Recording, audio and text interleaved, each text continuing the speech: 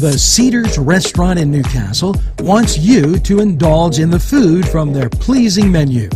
The Cedars features Mediterranean, pub food, Middle Eastern cuisine, and so much more. They're open every day 11 a.m. to 10 p.m.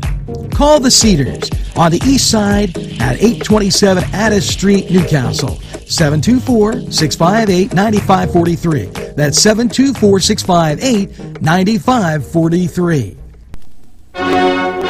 Yes, it's time for the Cedars Sports Corner. And um, what am I going to tell you? Let's get to the NHL. Toronto at Columbus, St. Louis at Detroit, Philadelphia, Calgary, and Florida at San Jose. The Pens won't be in action until Thursday, so um, maybe you'll want to watch some NBA basketball. And uh, great things going on in the NBA. For instance, my son's team, San Antonio, they'll be taking on Orlando.